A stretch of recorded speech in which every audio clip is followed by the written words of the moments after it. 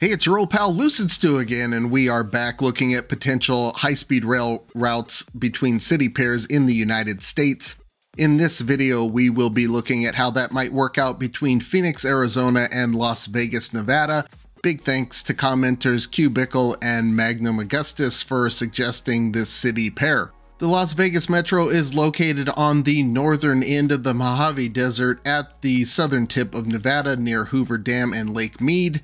The area is home to about 2.2 million people, making it the 29th largest metro area in the United States. The Las Vegas Metro has experienced intense growth since the 1960s, with the population doubling in the last 20 years and increasing tenfold in the last 50. Las Vegas is, of course, known as a gambling and entertainment mecca and draws nearly 40 million tourists a year. Metro Phoenix is located in a broad valley where the major rivers and streams of southern Arizona meet.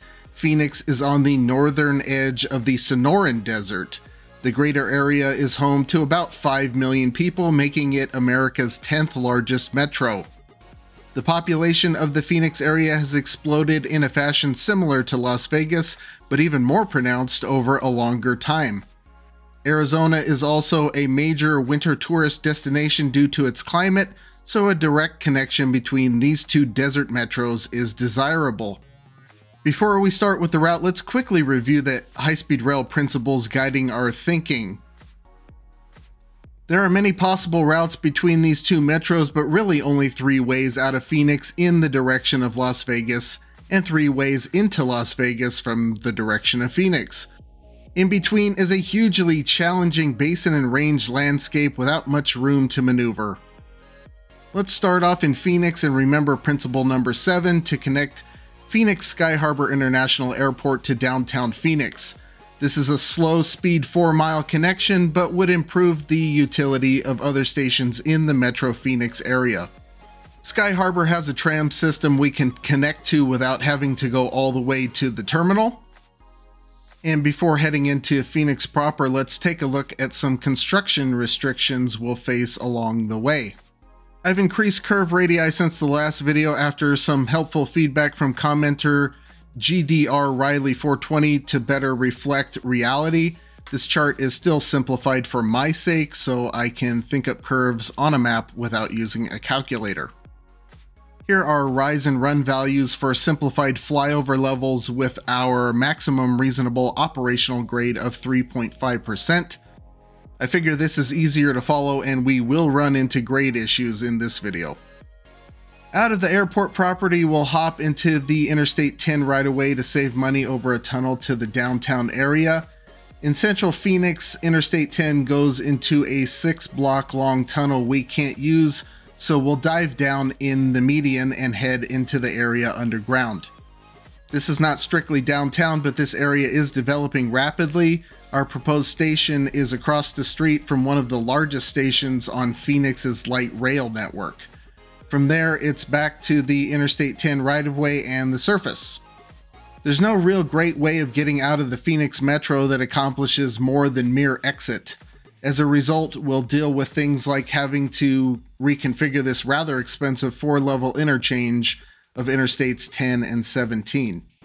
After that, Interstate 10 is reasonably accommodating for a few miles.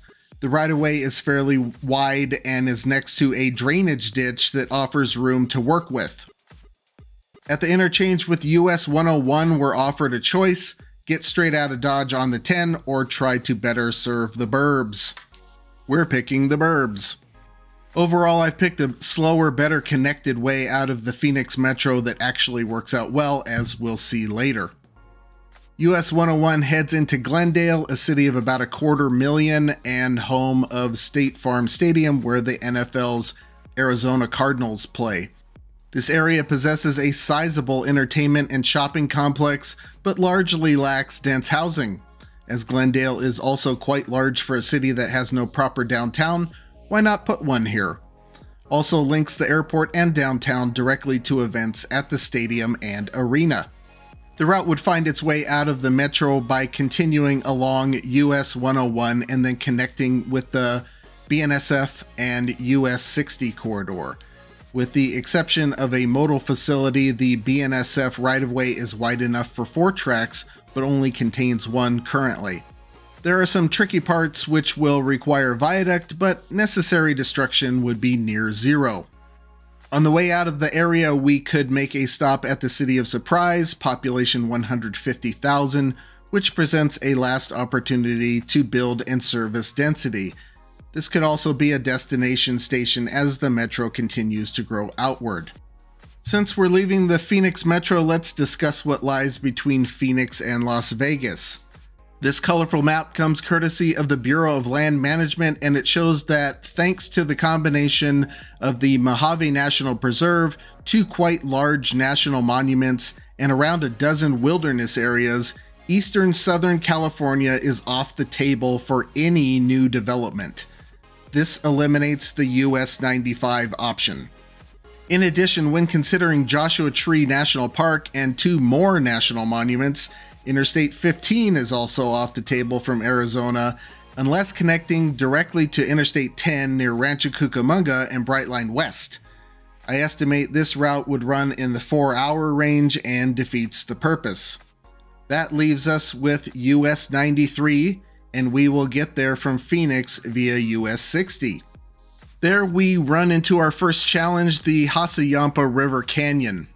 This canyon route is consumed by US 60 and BNSF tracks, so we must find another way through.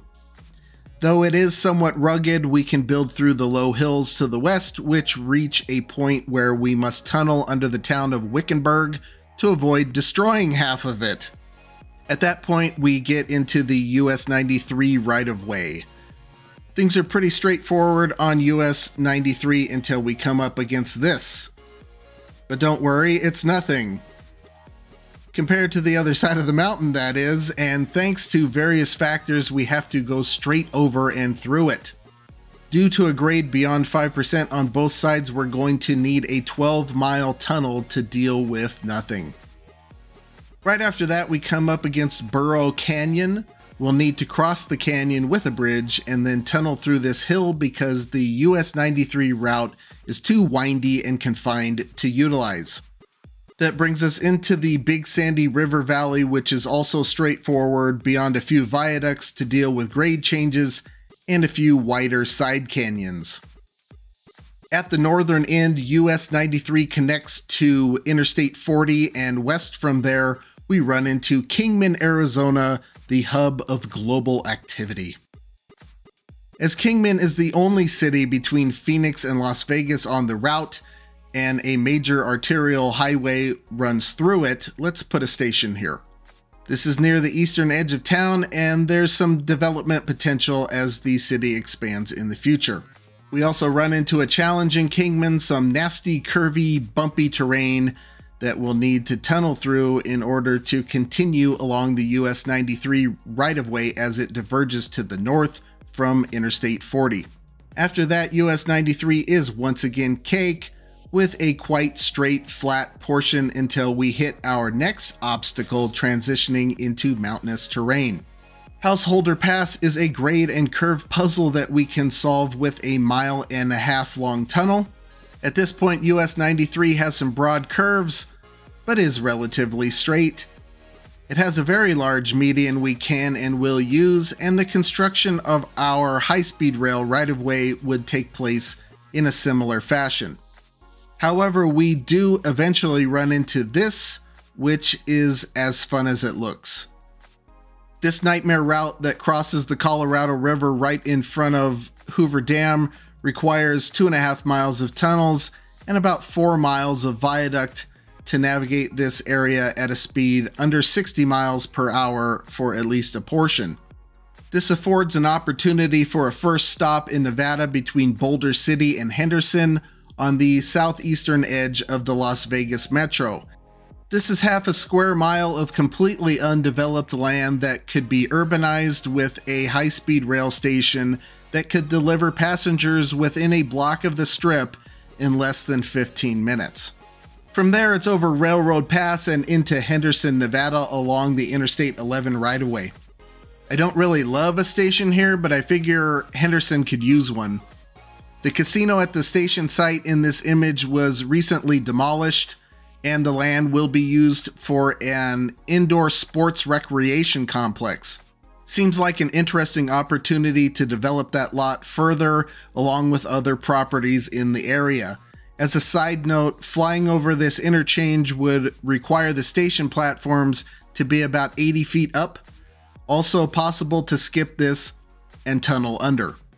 Transitioning off the interstate, we hook up with a Union Pacific branch, which is a little windy and would be limited to 75 miles per hour until we get to Harry Reid International Airport. This airport dominates the area and is a sizable barrier to through traffic from the south. UP lines from the south near Interstate 15 provide a possibility of getting into the dense area of the strip but it is difficult to reach from the UP branch as that abuts the airport property 1500 feet from a runway, has four at grade crossings, and can't be trenched due to the configuration. It's also just about as costly to try to circumvent the airport as it is to go under it. A four mile tunnel under the southern runways would connect with Terminal 1 and the airport tram system, this is not a satisfying endpoint as Harry Reid International has an infamous connectivity issue, so where next?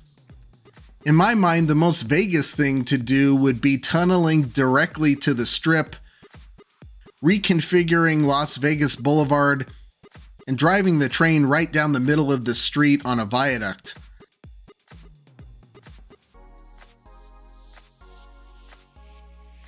Stations could hook up with the elevated walkways at major intersections,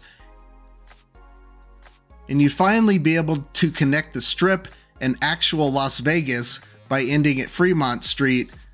Call it fanciful, but it's my dream and my video here. Coming back to Earth, our line is now underground and could conceivably be tunneled to anywhere that could be afforded. The Las Vegas Convention Center would be a prime destination. There are also a few empty lots on the north end of the strip near the convention center waiting to be developed. However, my choice is more modest as the cost of this project has surely already ballooned due to the necessary US 93 route. This site behind Planet Hollywood has ready access to the strip and also connects with the Las Vegas monorail. It is half a block from the new F1 paddock and right by several enormous condo towers. It's also a mile from UNLV, and it would finally link the strip and the airport. There is also directly adjacent development potential. Let's call this transient urbanism. We've made it from Phoenix to Las Vegas. Now let's talk about the cost. This project called for about 35 miles of tunnels as we traversed difficult urban areas and challenging desert terrain. That is reflected in my price estimate of $43 billion for this 295 mile route connecting metro areas totaling 7.2 million. From end to end, I estimate this train could average 158 miles per hour for an express trip of about 1 hour and 55 minutes. Some other examples catch a Cardinals game from Kingman, 166 miles in 1 hour. Surprise to Vegas to do some gambling, 260 miles in an hour and 45 minutes on a local. Even with the tourist draw, the price combined with the amount of people connected and lack of serviceable cities in between means I'm taking a pass on this one. I hope you enjoyed this video investigating the possibility of connecting Phoenix and Las Vegas with high-speed rail.